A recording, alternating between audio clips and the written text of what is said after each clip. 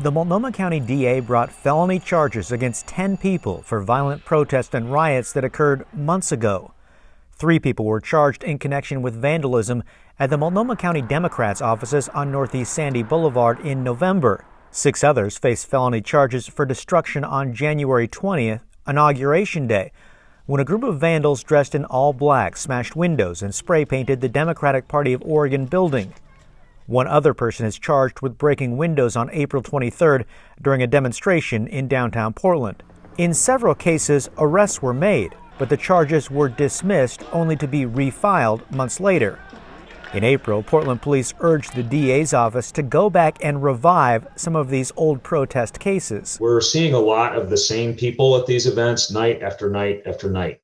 Around the same time, Multnomah County DA Mike Schmidt emphasized that people who are destroying property and committing violence will be prosecuted. The violence and property destruction we've seen in Portland for nearly 11 months now is unacceptable. Portland Mayor Ted Wheeler asked the public to stand together and help take the city back. Our job is to unmask them, arrest them, and prosecute them. Recent court filings suggest police have been relying on undercover surveillance, either near or within crowds demonstrating to make arrests.